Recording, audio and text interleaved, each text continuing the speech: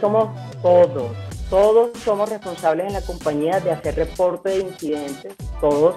Sí, señora. En las tres líneas de defensa, digamos, la primera línea de, defensa son los dueños de procesos, los dueños de, de, controles, de riesgos. Generalmente también abarca todas las personas que involucran estos procesos, realmente todas las personas de la compañía. Ellos son los primeros, la primera línea de, defensa, los primeros responsables que digamos, escalar eh, riesgos, escalar incidentes, implementar controles. ¿La gestión de riesgos te parece algo complicado de entender? No te preocupes, en este podcast nos adentramos en el mundo de los riesgos con reconocidos invitados, para que conozcas de manera simple la gestión de riesgos mientras vas haciendo otras cosas. Pirani, hacemos simple la gestión de riesgos. Bienvenidos y bienvenidas al espacio creado para que puedas aprender sobre riesgos de una manera simple. Nuestro podcast Escuela de Gestión de Riesgos. Tenemos una invitada muy estimada por todo el equipo de Pirani. Ella es Margarita Chedraui, quien nos acompañó en el segundo episodio de la Escuela de Gestión de Riesgos. Y para quienes no han escuchado todavía este episodio, Margarita es ingeniera industrial y magíster en finanzas por la Universidad de los Andes. Tiene 10 años de experiencia en la gestión de riesgos y cumplimiento normativo los últimos cuatro años se ha enfocado en el sector de las fintech. Actualmente es gerente de control interno en PayU. Hola Margarita, es un placer volver a tenerte en este espacio. ¿Cómo estás?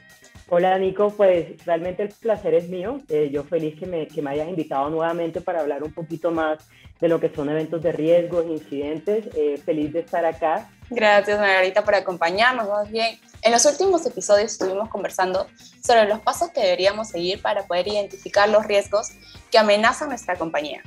Y ahora profundizaremos un poco más sobre qué pasa si un riesgo se llega a materializar, qué debemos de hacer y por qué debemos de registrarlo. Es por eso que ahora vamos a estar conversando contigo para conocer más sobre estos eventos o también conocidos como incidentes. ¿Nos podrías dar una definición más completa sobre los eventos? Claro que sí, Nico. Realmente, así como lo mencionas, em, un evento de riesgos es un riesgo materializado que debería ser gestionado por el proceso de, gestión de incidentes. Entonces, ahora bien, un evento de riesgo generalmente em, trae lo que es un impacto financiero, reputacional o legal para la compañía no deseado. Es decir, ellos no esperaban que efectivamente tener este impacto en, en sus procesos y en su estrategia. Entonces, un evento de riesgo realmente se puede, yo diría que las principales características de un evento de riesgo son cuatro. El primero es que, que está definido en el tiempo, realmente tiene una, una fecha de inicio y una fecha eh, final, ¿sí? tiene un periodo de tiempo. Dos, que generalmente siempre le impacta a un activo, ya sea un activo físico o un activo virtual. Por activo físico podemos decir el data center por activo virtual podemos decir, digamos, la, infraestructura de la plataforma en la nube, en AWS, por así decirlo en Amazon. Y como tercer eh, principio tenemos que generalmente un evento de riesgo materializado tiene asociado un impacto máximo. No necesariamente el impacto máximo va a ser el impacto final, porque esto depende mucho de la gestión que se haga o de los acuerdos comerciales que, que se realicen. Generalmente a veces se llegan acuerdos comerciales de 50-50, depende mucho del evento en específico. Y cuarto, tiene asociado una causa raíz. Pues todos los eventos materializados generalmente, pues generalmente no, siempre tienen asociado una causa raíz. Para dar un ejemplo un poco de lo que es un riesgo de una causa raíz, un riesgo puede ser pérdida de información privada y la causa raíz puede ser realmente fraude en los accesos eh, de controles a esta información privada que al final pues la persona que, que tenía la intención de robarte eh, la información lo logró. Y esto que me hablas de las causas, imagino que están asociadas también a unas consecuencias que vienen con el riesgo cuando se materializa. Claro que sí, claro que sí. Una causa raíz, em, cuando sucede el incidente, no siempre se, identifica la causa raíz. Por eso es que debería entrar a la gestión de incidentes. Cuando sucede el incidente puede ser, no, no, no recibimos dinero de este comercio a nivel transaccional, no, nunca recibimos el dinero. Entonces, ese es el incidente. El incidente fue no se recibió el dinero eh, de ciertos clientes en la compañía. Entonces es una pérdida financiera para la compañía. Ahora bien, la causa raíz es entrar a mirar por qué efectivamente no recibimos ese dinero. Si fue de pronto un, un bug, generalmente decimos como fallas en la lógica de la plataforma que no permitió que recibiéramos ese dinero o pudo haber sido por fallas en las conexiones entre, no sé, eh, el facilitador de pago y el adquirente, donde hubo fallas entonces nunca se recibió el, eh, como el, comando de decir por favor debiste ese dinero de, de las tarjetas de los clientes o por muchas razones en específico. ¿Por qué es importante reportarlo? Se pueden tener una causa, sabemos qué pasó, pero ¿por qué es importante tener como un registro de estos eventos? Listo, yo lo divido, Nico, en tres aspectos. El primero es porque, porque es súper importante gestionar el incidente. Un incidente no gestionado o no gestionado oportunamente puede traer un impacto no deseado en la compañía que pudo haber sido mitigado si, si, si se gestionó oportunamente, ¿sí? Pudo haber tenido un impacto diferente. Segundo, que considero que es importante, es porque la empresa debe prepararse digamos, a nivel financiero o a nivel plan de choque para poder responder a este incidente a futuro, ya sea presupuestando dinero, ya sea armando un plan de comunicación externa, ya sea armando una estrategia de marketing para poder, digamos, mejorar el impacto reputacional que pudo haber tenido el incidente en la compañía. Y como tercer aspecto, siempre defino que por buenas prácticas es importante llegar a la causa raíz del incidente para poder establecer los controles apropiados que nos permitan mitigar este incidente a futuro. Claro, entonces si es que registramos nuestros eventos, después vamos a tener que aplicarles un control que ya va a ser correctivo, porque es algo que ya pasó dentro de la organización. Generalmente, sí, puede que establezcamos un control correctivo, sí, porque es un, un riesgo que ya se materializó, ya nos impactó en la compañía y necesitamos definir un control pero el control puede ser tanto detectivo como preventivo, dependiendo de la naturaleza del, del, control. Sí, va a ser después, porque obviamente era un control que ya no teníamos, por así decirlo, si, si nos ponemos en específico. En este caso era un control que no se tenía. Identificando el riesgo materializado nos dimos cuenta que pudimos haber evitado el incidente o mitigado el incidente teniendo un control en específico o haciendo unos cambios en el proceso o haciendo unas automatizaciones del proceso, pudimos haberlo evitado. Entonces, eh, posteriormente se realiza estas actividades, se establece el control y el control puede ser, digamos, detectivo un corto tiempo dependiendo del, del apetito de riesgo de la compañía o preventivo para evitar que se materialice nuevamente. Entiendo, ahora sí está súper claro. Margarita, ¿y quiénes son los responsables de poder reportar estos eventos? Nico, los responsables somos todos. Todos somos responsables en la compañía de hacer reporte de incidentes, todos. Sí, señora. En las tres líneas de defensa, digamos, la primera línea de, defensa son los dueños de procesos, los dueños de, de controles, de riesgos generalmente también abarca todas las personas que involucran estos procesos, realmente todas las personas de la compañía. Ellos son los primeros, la primera línea de, defensa, los primeros responsables que deben, digamos, escalar eh, riesgos, escalar incidentes, implementar controles. Ya como segunda línea de defensa entra el área de riesgos y control interno y el área de compliance, nosotros nos encargamos, digamos, de apoyar a los dueños de procesos para ver, digamos, la efectividad del control, si debemos implementar un control adicional, si debemos eh, hacer temas adicionales, más que todo de apoyo, pero, digamos, todos somos responsables, tanto los dueños de procesos, tanto las áreas de, de apoyo como cumplimiento, riesgos, control interno, tanto cualquier persona que esté, que esté asociada en la compañía y que, y que tenga un, una ética y unos valores asociados a la compañía para la mejoría de esto. Entonces, todos somos responsables. Lo que me queda la pregunta es cómo puedo reportar. Normalmente, ¿cómo se hace en una empresa? ¿Se utiliza un software o lo hacen a través de una plantilla de Excel que todo el mundo debe tener para poder reportarlos? Tú me estabas contando también el tema de qué datos sí o sí debería tener este registro de eventos, ¿no? Estamos hablando de eh, tiempo, del impacto que ha tenido, pero no sé si podamos profundizar más en ese tema y sobre la primera pregunta que te estaba haciendo, ¿dónde podemos registrarlo? Claro que sí, digamos, para tomar en cuenta el reporte de incidentes, también lo divido entre tres. Lo primero es conocer cuál es la herramienta en tu compañía donde se hace ese reporte de incidentes. Es súper importante conocer, digamos, la aplicación, saber dónde, pues, como los, las vías eh, principales y las vías idóneas para poder hacer este reporte. Dos, conocer las políticas internas de la compañía. Generalmente en las políticas internas o en los procedimientos se definen la categoría del incidente, cuál es la criticidad, ¿sí? no todos los incidentes tienen la misma criticidad, depende del impacto financiero, el impacto reputacional, el impacto legal que tenga la compañía. Esto se define según el apetito de riesgo de, la organización. Y como tres, como tú mencionas, es poder dar toda la información que conozca sobre el incidente, ¿sí? ¿Qué fue lo que pasó? ¿Dónde pasó? ¿Cuándo pasó? ¿Cuál es el posible impacto? ¿Cuál es la causa raíz? Si la conoces, si no la conoces, pues entraría a, ser evaluada en, todo el proceso de gestión de incidentes. Digamos, qué, qué actividades se están ejecutando para poder contener este incidente y así entrar como con la información posible, toda la información posible para poder entender y gestionar de forma eficiente el incidente. Entonces estamos hablando de que primero debemos de conocer todos, en la, si todos en la compañía estamos obligados a reportar algún incidente, algún evento que se origine dentro de la organización, pues como tú dices, ¿no? Tener muy claro en las políticas de la empresa dónde debemos de registrar, conocer o el software o el, la plantilla o el correo, por último, donde se tenga que pasar y qué datos necesitan pasar. Porque yo he escuchado en muchas organizaciones que cuando recién están empezando a gestionar riesgos, pues reportan un evento y solo ponen como que, eh, no sé, error en facturación el día 12 de enero eh, y lo estoy reportando y envían el correo. Entonces, como que necesitamos saber qué elementos necesita tener este registro. ¿Podríamos dar un breve repaso otra vez a, a los, puntualmente a los que debería tener un buen registro? Claro que sí, debería tener qué pasó, la descripción, ¿no?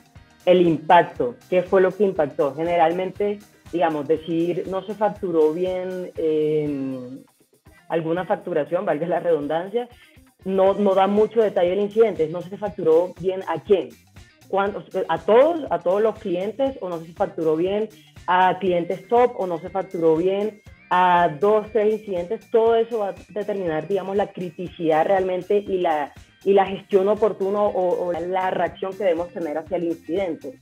¿Sí? No es lo mismo digamos, mencionar, no, no se facturó bien a un cliente, digamos, de un valor menor, que de pronto no es tan significante, tan material para la compañía. Se gestiona, obviamente, pero decir no se facturó bien y no hubo ingreso de dinero, digamos, para un valor que excede el, el, apetito de riesgo de la compañía, un valor grande, digamos, que impacta los estados financieros, pues se le debe dar un poquito más de urgencia a la gestión de incidentes porque es posible que, pues, eh, si no se gestiona oportunamente, pues las posibilidades de recuperar el dinero sean, eh, vayan bajando, ¿no? Ahora, ¿a quién le reportamos? Si toda la organización tiene que reportar, ¿a quién debería estar dirigido esto? Estos correos, estas plantillas, eh, la información que va en el software, ¿quién lo revisa?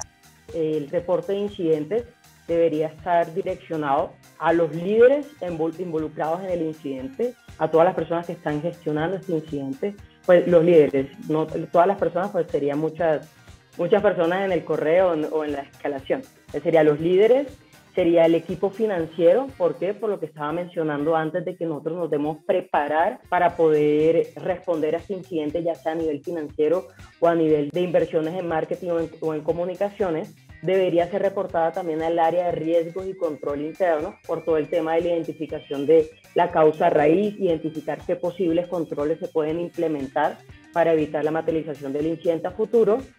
Y ya después, dependiendo de, de, cómo está definida la estructura organizacional, pues hay ciertos escalamientos, dependiendo también de la criticidad del incidente. Generalmente un incidente demasiado crítico puede que llegue hasta la junta directiva o hasta los inversionistas. Claro, porque en última va a afectar el valor de la compañía. Pero imagino que esto va, como tú dices, escalando. Si yo reporto un evento que ha pasado algo en el servidor de la compañía, eso va, por ejemplo, para el gerente de TI, eh, el analista de TI. Eh, yo imagino ¿no? que ellos hacen como un análisis del evento reportado y después ellos determinan la criticidad de este evento y de ahí okay. lo pasan al siguiente. Nada, esa, esa, esa pregunta es genial. ¿sí? Puede que cuando yo reporte el incidente aún no tenga 100% de conocimiento de la criticidad. Listo, la plataforma tuvo una caída de 15 minutos, 20 minutos, por así decirlo. ¿sí? Pero puede que cuando vaya evolucionando el incidente, puede que la criticidad vaya cambiando. Entonces, generalmente con la información que yo conozco, ¿sí? Por eso es que es importante reportar toda la información que conoces cuando vayas a hacer el reporte oportuno del incidente yo asocio una criticidad. Digo, bueno, listo, con la información que tengo, para mí la criticidad es esta, teniendo en cuenta pues las políticas internas, ¿no? Ahí debería haber una matriz que explique, bueno, para esto tiene una criticidad baja, media, alta, etc. Pero puede que, digamos, cuando vaya evolucionando el incidente, te des cuenta que la causa raíz no fue ningún componente tecnológico o, o no fue un tema de mantenimiento, sino que es un tema de seguridad. Y tenemos personas tratando de ingresar a, nuestros sistemas críticos para poder pues hacer temas de hacking o poder, mejor dicho, cambiar los procesos normales de, de, la compañía. Entonces, digamos, cuando se identifica eso, puede que ya la criticidad no sea media, sino ya pasa a ser alta porque es un tema más crítico para la compañía, porque está, digamos, puede impactar la información privada de la compañía, puede impactar componentes críticos de la compañía, procesos, digamos, y puede llegar a, a volverse un fraude externo. Entonces, es súper importante que mientras se vaya eh, gestionando el incidente, se vaya reevaluando nuevamente la criticidad y los planes de acción según la nueva información que va llegando del incidente. ¿El evento que nosotros reportamos tiene algún periodo de evaluación por lo que tú me estás contando? ¿O siempre, desde que se reporta, siempre vamos a estar dándole una, un seguimiento? Listo, lo primero es el análisis del incidente. Después viene la contención. La contención del incidente es si, digamos, que la plataforma está caída, entonces recuperar la plataforma. Entonces esa es la contención. O sea, el incidente sigue sucediendo, o sea, todavía estamos teniendo, aumentando las pérdidas financieras o aumentando el impacto reputacional, o definitivamente ya lo, lo contuvimos y ya lo que viene sería el análisis preventivo. O sea, ¿qué tengo que hacer yo para que este incidente no vuelva a pasar? Entonces, para responder un poco a tu pregunta, si, si el monitoreo es, mejor dicho, toda la vida, no. El monitoreo es hasta que yo defina de forma correctiva, o sea, solucione el incidente de forma correctiva y contenga el incidente y además lo contenga de forma preventiva. Que yo trate de asegurar que en el futuro no, no vuelva a pasar este incidente. Ahora, con lo que tú me estás contando, se me viene a la mente que hemos estado hablando de cómo reportarlos y, y me parece un poco riesgoso también reportarlos solamente por correo o en un Excel porque imagino que todos estos eh, reportes, estos registros tienen que quedar como almacenados en un lugar para tener siempre un historial de lo que está pasando dentro de la organización. Estás diciendo algo súper cierto, Nico. Generalmente, digamos, nosotros usamos los KPI de los incidentes, toda la información histórica de los incidentes, para poder evaluar y definir dónde enfocamos actividades de control interno. ¿sí? Digamos, si estamos teniendo muchos incidentes operativos, nosotros en el área de control, riesgo y control interno, en la planeación deberíamos, digamos, empezar a revisar esos procesos operativos a ver qué es lo que está pasando. ¿sí? Porque un incidente solamente me habla de un riesgo materializado, pero puede que yo tenga en todo el proceso varios riesgos expuestos que no tengan, digamos, controles de mitigación y no tenga un riesgo residual, sino el riesgo está, mejor dicho, no, no se ha hecho el assessment, no se ha hecho la, la gestión, la evaluación y realmente no sé si efectivamente va acorde con el apetito de riesgo de la compañía y debemos mirar antes de que se materialice. Entonces, para nosotros siempre, digamos, esa información histórica o esos KPI que utilizamos para ver dónde se han levantado tantos incidentes, pues no sirve para los procesos de, de nosotros y evitar, pues ya lo que había mencionado. Los que nos están escuchando, saben si es que están empezando a gestionar riesgos, pues es importante que puedan migrar de una plataforma como es un correo o una plantilla a un software que pueda ayudarles a dar un soporte mayor a todos los registros que van haciendo. Margarita, ¿tú crees que podamos poner ejemplos de eventos que han ocurrido en empresas, tal vez algunas conocidas, para poder contextualizar más la conversación que tenemos? Dale, claro que sí. A ver, que me acuerde del año pasado, acuerdo el incidente de Facebook, eh, si no estoy mal, fue el 4 de octubre, sí. donde tuvimos una, una caída de, de, los componentes internos y externos de Facebook, yo creo que aproximadamente 7 horas. Entonces, claro, al mencionar componentes externos, estoy hablando no solamente de Facebook, lo que ahora es Meta, Meta, eh, Meta eh, sino también Instagram, WhatsApp. Yo creo que eso fue algo que, que le pegó al, al mundo entero prácticamente cuál fue la causa raíz o qué es lo que ellos hacen, comparten la, información de la causa raíz.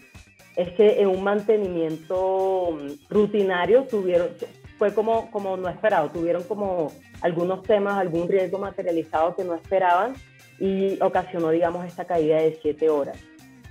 Aquí quiero, quiero decir algo súper importante. Ellos se demoraron, Facebook se demoró siete horas para poder recuperarse de este incidente, digamos, contener el incidente, lo que decía de los estatus anteriores. Y seguramente Facebook tiene gestión de incidentes, tiene herramientas para la gestión de incidentes y se demoraron siete horas. Tuvo un impacto, digamos, no quiero decir grande, pero tuvo un, un impacto importante en, en la compañía Ahora imagínate no teniendo la herramienta adecuada o no teniendo los procesos adecuados o no teniendo, digamos, a los empleados capacitados para poder reportar oportunamente el incidente. Ya no serían 7 horas, serían 14 horas, 24 horas, algo que de pronto no, no se pueda controlar a nivel de compañía y, y, lo que hace es que aumenta el impacto reputacional y financiero, ¿sí? Un, un impacto muy, muy grande en una compañía puede llevar realmente al cierre de esta compañía en general yo creo que todas las, empresas, sea grandes, sea medianas, sea chiquitas, tienen incidentes, o sea, experiencia en incidentes, por eso es importante, ahora más tarde doy un poquito más eh, tips, digamos, en torno a mi experiencia, que es importante en, la gestión de incidentes. Pero bueno, hablando, digamos, de otro caso, además de, de metas, también estuvimos el año pasado en AWS, el 7 de diciembre, si no estoy mal, tuvieron una caída de los servidores en la nube la causa raíz fue, si no estoy mal, como unos problemas, unos retos que identificaron en el data center, en su data center en Costa Rica. Este incidente afectó a Disney Plus y afectó a, Netflix, ¿sí? que son clientes tops, diría que son clientes eh, VIP para ellos. Entonces, seguramente tuvieron que hacer algunas comunicaciones externas y todo. Eh, Súper importante digamos, para AWS, siendo una empresa tan grande, tenga establecido los procesos y la gestión de incidentes y, las herramientas, digamos, porque en última se afectan también clientes grandes que puede traer un impacto reputacional grande para la compañía. Listo, Margarita, ¿tú crees que nos puedes dar algunas recomendaciones finales de tu expertise para poder tener un mayor control sobre los eventos que podamos registrar en nuestras organizaciones? Claro que sí, Nico. Realmente las dos recomendaciones desde mi experiencia que les doy a todas las personas que están escuchando este podcast. Uno, reportamos el incidente oportunamente, apenas identifiquemos el incidente, reportémoslo. Esto nos va a permitir gestionar de la mejor, forma el impacto que pueda tener el incidente sobre la compañía.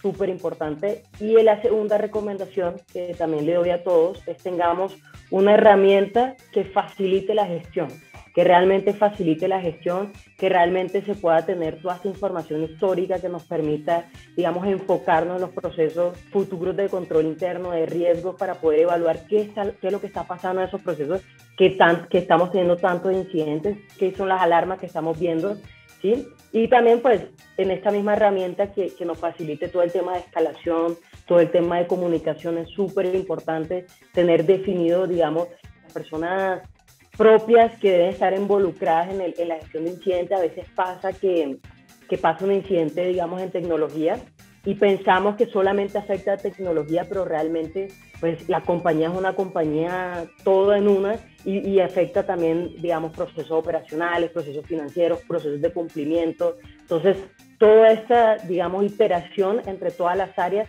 debe estar estipulada una herramienta que te facilite todo. Buenísimo y muy claro el último punto, me parece importantísimo que ustedes puedan revisar las opciones. Igual ustedes saben que este podcast es de Pirani, que nosotros somos un software para gestión de riesgos, así que si quieren saber un poco más eh, qué herramientas les puede servir, pueden irse por la página de piranirix.com y conocer más. Muchísimas gracias, Margarita, por este tiempo, por estas aportaciones valiosísimas para nosotros y poder seguir aprendiendo más sobre gestión de riesgos, que es el propósito de este podcast. Para mí ha sido súper claro y preciso las cosas que nos estabas contando con respecto a los incidentes, los eventos y pues esperamos tenerte en una próxima ocasión. Claro que sí, Nico. Cuando quieras, aquí estoy para ustedes. Gracias, Margarita. Antes de despedirnos, quisiera eh, que nos puedas decir cómo te podemos encontrar en LinkedIn o en alguna web. Claro que sí, en LinkedIn me pueden encontrar como Margarita Chedraui Romero. Y ya, esta es como la única eh, red social que manejo. Entonces, cualquier tema me pueden hablar por el inbox. Ahí está, si no estoy mal, mi celular. Entonces, lo que necesiten, eh, aquí estoy. Muchísimas gracias, Margarita, y gracias a todos nuestros oyentes. Nos vemos en un próximo episodio. Chao, chao. Gracias, chao.